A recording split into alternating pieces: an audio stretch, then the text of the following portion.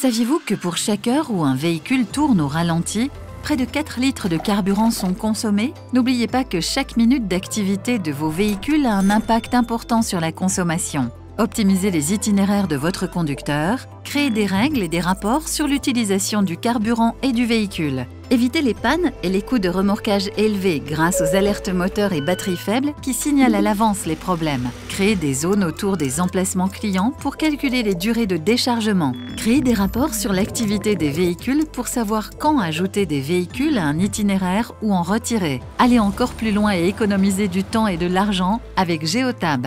Pour en savoir plus, Rendez-vous sur geotab.com slash petite-entreprise et demandez une démonstration dès aujourd'hui.